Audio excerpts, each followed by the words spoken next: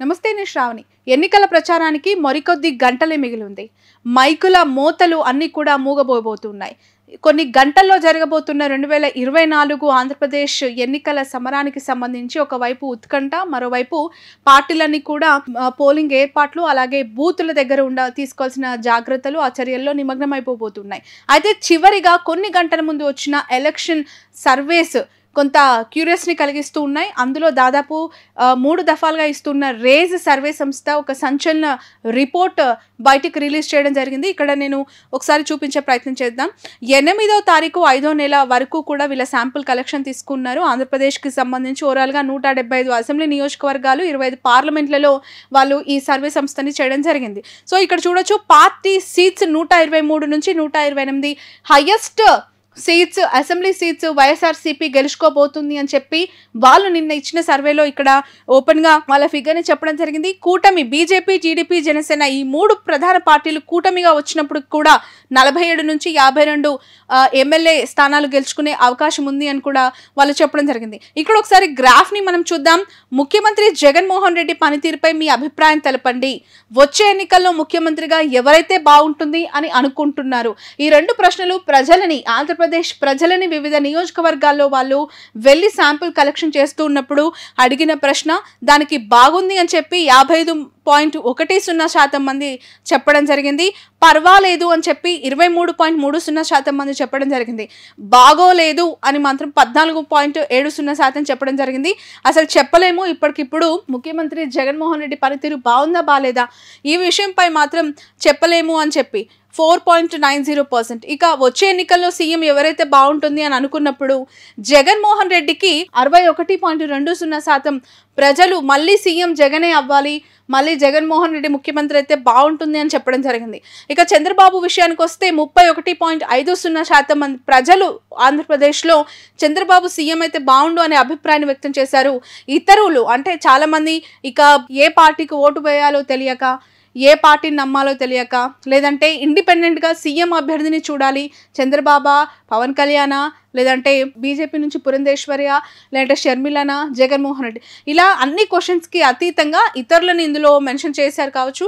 ఏడు పాయింట్ మూడు సున్నా శాతంగా కూడా ఫిగర్ని ఇక్కడ ఇవ్వడం జరిగింది. ఇక ఓట్ షేర్ ఇండివిజువల్ పార్టీస్కి సంబంధించి ఓవరాల్గా ఆంధ్రప్రదేశ్ రాష్ట్రంలో ఇప్పటికిప్పుడు ఎన్నికలు జరిగితే వైఎస్ఆర్సీపీ నలభై తొమ్మిది పాయింట్ ఎనిమిది శాతం ఓట్లని నమోదు చేసుకునే అవకాశం ఉంది. రాష్ట్ర వ్యాప్తంగా నలభై తొమ్మిది పాయింట్ ఎనిమిది శాతం ఓట్లు వచ్చే అవకాశం ఉంది అని చెప్పి ఈ రేస్ సర్వే సంస్థ చెప్తుంది. టీడీపీ జనసేన బీజేపీ కూటమికి నలభై ఐదు పాయింట్ మూడు శాతం మాత్రం ఓట్ షేర్ నమోదయ్యే అవకాశం ఉందని చెప్తున్నారు. అదర్స్లో టూ పాయింట్ జీరో పర్సెంట్ ఇచ్చారు.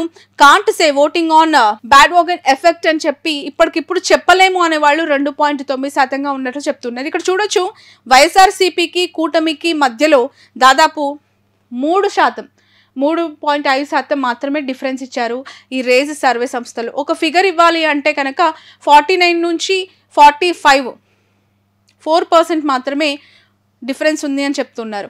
Vote share as on eighth May వరకు చూస్తే పూర్తిగా వైఎస్ఆర్సీపీకి నలభై తొమ్మిది శాతం వాళ్ళు ఇక్కడ ఇవ్వడం జరిగింది. ఆంధ్రప్రదేశ్లో సగానికి సగం మంది ఒక వన్ పర్సెంట్ అటు ఇటుగా వైసీపీని మళ్ళీ అధికారంలోకి తీసుకురావడానికి ఇష్టంగా ఉన్నట్లు చూపిస్తున్నారు.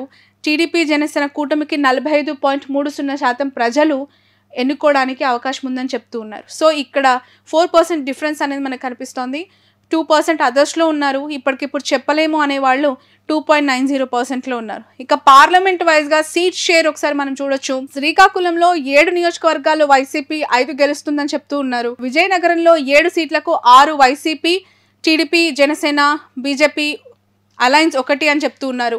విశాఖపట్నంలో ఏడు అసెంబ్లీ నియోజకవర్గాలకు గాను నాలుగు వైసీపీ మూడు కూటమికి ఇస్తూ ఉన్నారు. అనకాపల్లి వెరీ ఇంట్రెస్టింగ్ ఇక్కడ మనకు కనిపిస్తోంది వెరీ టఫ్ ఫైట్ ఉంది. అలయన్స్కి అలాగే అక్కడున్న టీడీపీ జనసేన కమ్మ కాపు అలాగే రాజులు. ఇవన్నీ వెలమ సామాజిక వర్గం కూడా ఉంది. చాలా మెజారిటీ ఆఫ్ ద సామాజిక వర్గాలు అక్కడ ఇన్ఫ్లుయెన్స్ చేస్తూ ఉంటాయి. చాలా డామినేటింగ్ ఎంపీ కాన్స్టిట్యున్సీ అని కూడా మనం చెప్తూ ఉంటాం. అలాంటి చోట మూడు వైసీపీకి ఇచ్చారు కూటమికి నాలుగు ఇచ్చారు.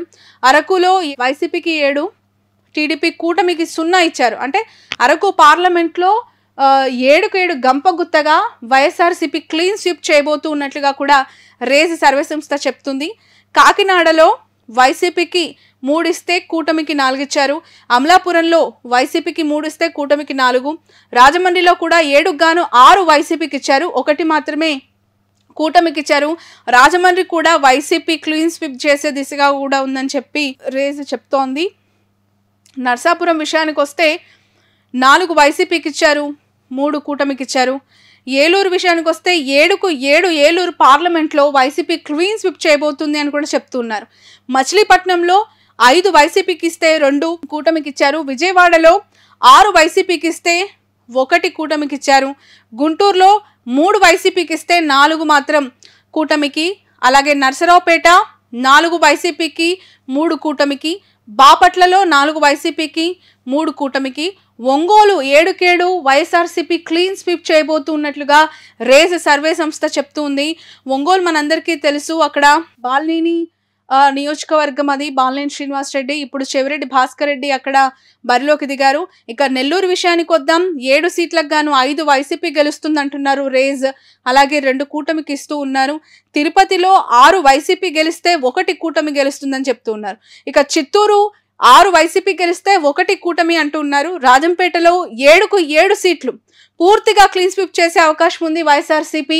ఇంకా ఒక్క సీటు కూడా రాజంపేట పార్లమెంట్ సెగ్మెంట్లో టీడీపీ జనసేన కూటమికి ఛాన్స్ లేదని చెప్పి రేజ్ సర్వే సంస్థ చెప్తుంది. ఇక కడప విషయానికి వద్దాం. కడపలో రేజ్ సర్వే సంస్థ ఆరు వైసీపీకి ఇచ్చింది. ఒకటి మాత్రం టీడీపీకి ఇచ్చింది. అసలు కడప అంటే వైఎస్ఆర్సీపీ వైఎస్ఆర్సీపీ అంటే కడప జగన్మోహన్ రెడ్డికి ఒక బలమైన నియోజకవర్గం. కడప పార్లమెంట్ అలాంటి పార్లమెంట్లో ఒక్క నియోజకవర్గం కూటమికి వస్తుంది అనేది చాలా ఇంట్రెస్టింగ్గా కనిపిస్తోంది. లెట్స్ వైట్ అండ్ సీ ఎందుకు అంటే కడప టార్గెట్గా జగన్మోహన్ రెడ్డి ఈసారి అనేక డెవలప్మెంట్స్ చేశారు. అక్కడ ఏడు అసెంబ్లీ నియోజకవర్గాల్లో పూర్తిగా ఏడుకి ఏడు తను వాళ్ళ అకౌంట్లో వేసుకోవాలని కూడా చాలా డెవలప్మెంట్స్ చేశారు. సో ఇక్కడ ఒకటి మాత్రం టఫ్ ఉంది. అది మేబీ మైదుకూరు అవ్వచ్చు ప్రొద్దుటూరు అవ్వచ్చు ఇంకా ఏదైనా ఉండొచ్చు. ఒకటి మాత్రం వాళ్ళు ఇక్కడ ఫిగర్ అవుట్ చేశారు. ఇక కర్నూలులో ఏడుకు గాను ఐదు వైసీపీకి రెండు కూటమికి నంద్యాల ఐదు వైసీపీకి రెండు కూటమికి హిందూపూర్ ఐదు వైసీపీకి రెండు కూటమికి. అనంతపూర్ విషయానికి వద్దాం. ఇక్కడ కూడా ఏడు నియోజకవర్గాల్లో ఆరు వైసీపీ గెలుస్తుందంటున్నారు. ఒకటి జనసేన టీడీపీ బీజేపీ కూటమికి అవకాశం ఉందంటున్నారు. ఓవరాల్గా నూట డెబ్బై ఐదు అసెంబ్లీ సీట్లలో నూట ఇరవై ఎనిమిది వైసీపీకి నలభై ఏడు కూటమికి వస్తుంది అని చెప్పి ఇక్కడ వాళ్ళు చెప్తూ ఉన్నారు. Assembly wise winning parties for upcoming elections twenty twenty four. So శ్రీకాకుళంలో ఏ పార్టీ? అక్కడ అభ్యర్థి ఎవరు? అక్కడ ఉన్న టాప్ క్యాష్లు అంటే వాళ్ళ సామాజిక వర్గాలు. ఈ రేజ్ సర్వే సంస్థ ఒక డిఫరెంట్ ఆఫ్ శాంపుల్ కలెక్షన్ చేస్తూ ఉంటుంది. గతంలో కూడా మనం ఇదే మాటని ప్రస్తావించాము. అనేక సర్వే సంస్థలు వెళ్తాయి గ్రౌండ్లో వాళ్ళు అనుకున్న క్వశ్చనేర్ని చాలా డిఫరెంట్గా శాంపుల్ కలెక్షన్ చేస్తూ ఉంటాయి. కొంతమంది ఫోన్లు కొంతమంది ఎస్ఎంఎస్లు కొంతమంది డైరెక్ట్ వన్ ఆన్ వన్ వెళ్ళి శాంపుల్ కలెక్షన్ చేస్తూ ఉంటారు. కానీ రేజ్ ఈజ్ వెరీ డిఫరెంట్. ఆ రేజ్ సర్వే సంస్థ క్యాష్లకు అతీతంగా కులాలు సామాజిక వర్గాలకు అతీతంగా వాళ్ళ శాంపుల్ కలెక్షన్ ఉంటూ ఉంది.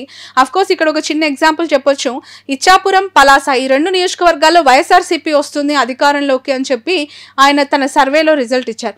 అక్కడున్న పెద్ద కులాలు ఏంటి పెద్ద సామాజిక వర్గాలు డామినేటింగ్ క్యాస్ట్లు ఏంటి అనేది? రెడ్డిక యాదవ అగ్నికుల క్షత్రియ కళింగ వడబలిజ. పల్లి యాదవ వడబలిజ కళింగ సవరాస్ కొప్పు సవరాస్. సో ఈ ఐదు సామాజిక వర్గాల యొక్క డామినేషన్ ఈ ఏరియాలో ఎక్కువగా ఉంటుంది. ఆ సామాజిక వర్గాలకి సంబంధించిన వాళ్ళ ఓట్ షేర్ ఇన్ఫ్లుయెన్స్ చేస్తుంది కాబట్టి ఈ రెండు సీట్లు గెలవడంలో ఈ క్యాష్ల యొక్క ఇంపాక్ట్ ఎక్కువగా ఉంటుంది అని చెప్తున్నారు. వేరాజ్ టెక్కలి మనందరికీ తెలుసు అచ్చెన్నాయుడు కంచుకోట అచ్చెన్నాయుడు ఎప్పుడు కూడా అక్కడ గెలుస్తూ ఉన్నారు. అక్కడ ఆయన క్లియర్ కట్గా గెలుస్తారు అని చెప్పి రేసి చెప్తోంది. అక్కడున్న కళింగ యాదవ రెడ్డిక పోలినాటి వెలిమ మాల ఈ ఐదు సామాజిక వర్గాలు ఈ నియోజకవర్గంలో ఇన్ఫ్లుయెన్స్ చేస్తాయి. టెక్కలిలో అచ్చెన్నాయుడు టీడీపీ నుంచి గెలిచే అవకాశం ఉందని చెప్పి రేస్ చెప్తుంది. సో ఇలా నూట డెబ్బై ఐదు నియోజకవర్గాల్లో ఎక్కడెక్కడ వైసీపీ వస్తుంది ఏ కులాలు అక్కడ ఇంపాక్ట్ చేస్తున్నాయి అనేది కూడా ఈ రేస్ సర్వే సంస్థ ఇవ్వడం జరిగింది. Very interesting factor. జనసేన బోని కొట్టబోతోంది. జనసేన ఇక్కడ ఈ రెండు వేల ఇరవై నాలుగులో అనకాపల్లి నుంచి తన విజయాన్ని నమోదు చేసుకునే అవకాశం ఉంది. మొదటగా అనకాపల్లి అక్కడ మనం చూస్తే కాపు గవర యాదవ తూర్పు కాపు మాల ఈ ఐదు సామాజిక వర్గాల యొక్క నామినేషన్ ఎక్కువగా ఉంటుందని చెప్తున్నారు అనకాపల్లిలో జనసేన వస్తోంది. పెందుర్తిలో జనసేన వచ్చే అవకాశం ఉంది. ఎలమంచలిలో కూడా జనసేన ఈ మూడు అసెంబ్లీ సెగ్మెంట్స్ జనసేన తన ఖాతాలో వేసుకునే అవకాశం ఉందన్నారు. పిఠాపురం కాకినాడ రూరల్లో కూడా ఈ జనసేన ప్రభావం ఉంటుంది. అక్కడే వాళ్ళు గెలవబోతున్నారని కూడా చెప్తున్నారు. రాజోల్లో కూడా జనసేన పార్టీ అసెంబ్లీలో అడుగు పెట్టబోతోంది. జనసేన తరపున క్యాండిడేట్ వరప్రసాద్ గెలిచే అవకాశం ఉంది అని కూడా రేస్ సర్వే సంస్థ చెప్తుంది. ఇలా మల్లొక నరసాపురం కూడా జనసేన పార్టీ గెలుస్తుంది అని చెప్తూ ఉన్నారు. అలాగే తాడేపల్లిగూడెంలో కూడా జనసేన వస్తుంది అని కూడా చెప్తూ ఉన్నారు. ఇలా దాదాపు నూట డెబ్బై ఐదు నియోజకవర్గాల్లో టీడీపీ జనసేన వైసీపీ ఇవన్నీ నియోజకవర్గాలు. ఇక్కడ మనకు కనిపిస్తుంది మంగళగిరిలో స్మాల్ ఎడ్జ్ టీడీపీకే ఉంది. ఖచ్చితంగా లోకేష్ గెలిచే అవకాశం మనకి కనిపిస్తోంది. మంగళగిరి చాలా టఫెస్ట్ కాన్స్టిట్యున్సీ రాష్ట్ర వ్యాప్తంగా కూడా నారా లోకేష్ ఎక్కడ ప్రచారానికి వెళ్ళట్లేదు. ఎవరి తరపున పోటీలో ఉన్న వాళ్ళకి వెళ్ళి తన మద్దతు కోరట్లేదు. ఓన్లీ మంగళగిరికే ఆయన కన్ఫైన్ అయ్యారు. పార్టీనంతా కూడా వదిలేసి.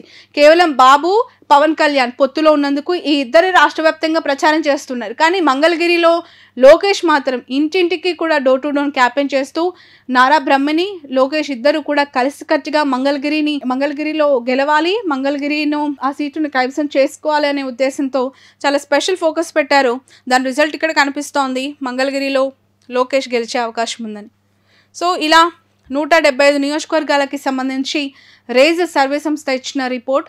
దాదాపు ఇప్పటి వరకు ఈ మధ్య కాలంలో వచ్చిన అన్ని సర్వే సంస్థలు అంటే majority of the surveys Aatmasakshi అవ్వచ్చు అలాగే పొలిటికల్ ల్యాబొరేటరీ అవ్వచ్చు నాగన సర్వే అవ్వచ్చు ఇక జన్మత్ సర్వే అవ్వ ఇలా అనేక సర్వే సంస్థలు వాళ్ళ వాళ్ళ ఒపీనియన్స్ని ఇలా డేటా రూపంలో రిలీజ్ చేస్తూ ఉన్నాయి. But race is the highest figure to give YSRCP. నూట ఇరవై మూడు సీట్లు వస్తాయని చెప్పి రేస్ చెప్తుంది. చూద్దాం మరికొన్ని గంటల్లో పోలింగ్ జరగబోతోంది. మరికొన్ని రోజుల్లో రిజల్ట్ రాబోతోంది. ఎవరు ఏ పార్టీకి ఓటు వేయబోతూ ఉన్నారు? ఏ నాయకుని సీఎంగా చూడబోతున్నారు?